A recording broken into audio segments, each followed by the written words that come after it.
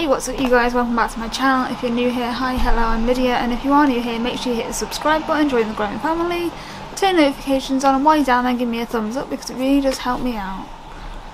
So, let's talk for a minute. It's been a hot minute since I filmed an update.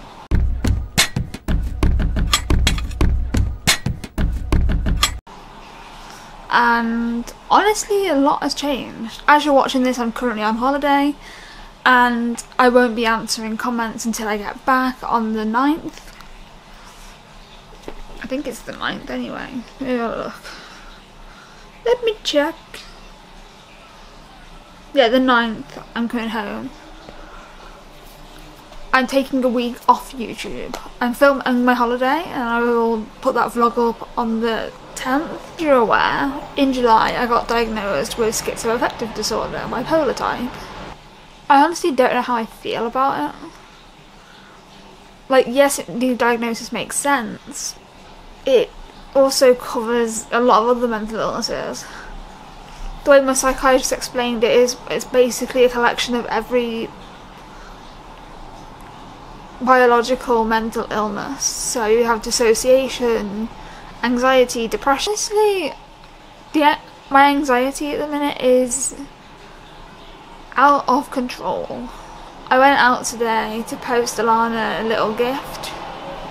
I say little gift. I gave her my old Switch because I I had a Switch Lite first, then I got a Switch OLED, so I gave her the, the Switch Lite.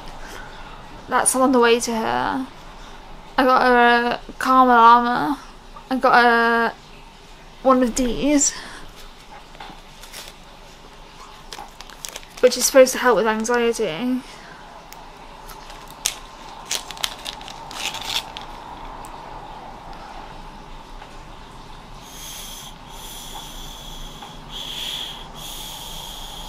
Basically breathe through it. And it's supposed to really help it's on a necklace so it goes around your neck I got a set of two, so I sent Alana one. Because I know she struggles with her anxiety. I'm just in a bit of a weird headspace at the moment, where I don't really know what I want to do. Because I finished university. So that's done.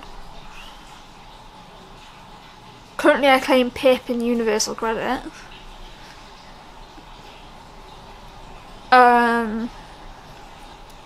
I'm applying for jobs, but a lot of them require you to have a car. I don't have a driving license because of my medication. I can't drive.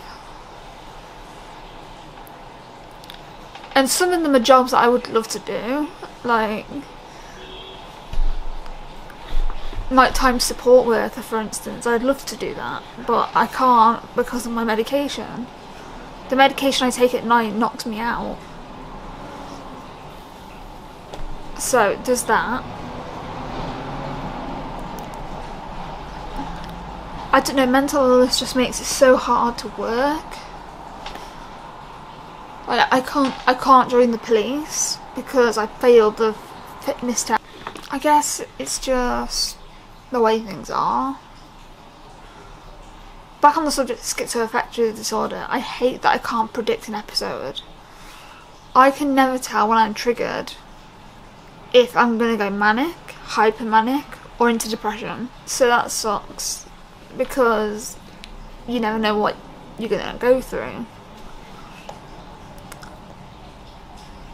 But honestly, the big thing that's bothering me at the moment is not having any friends around like my friends are Alana, who lives in Australia, which is the other side of the world. So our time zone difference is basically basically we have a three-hour window in the morning for me, nighttime for her, where we're both awake, which is when we video chat. I just I feel so lost. I've started doing my makeup every day. Which as you can see my eyeliner has improved. I'm using a gel eyeliner now and it's so much better. And for mascara I'm using the Too Faced Damn Girl mascara. I love it, it's my second one of it. I absolutely love it. And I'm using Charlotte Tilbury foundation and Urban Decay concealer and NARS lipstick. When I wear eyeshadow I use Urban Decay or Too Faced. My highlighter is Bourjois. Or I've got another one that's I can't remember the brand of it and it's worn off the it's the thing. Or my Anastasia Beverly Hills powder highlighter. People probably think I spend loads of money on makeup. I get them at a discounted prices. So I I've just accumulated them over the years. The newest thing that I bought was the Charlotte Tilbury foundation and the Too Faced Damn Girl mascara. Like my eyeliner's L'Oreal, which is about six pound. So I don't spend. I'm not spending all my money on makeup. Before people start panicking with what I'm spending my pip on.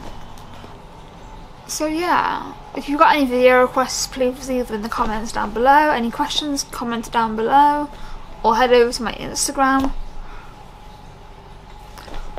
and share in one of my stories your question because that's where I go for my Q&A questions. And yeah, I hope you're doing okay and if you're not, I hope your day gets better. Thanks for watching and I will see you in a new video.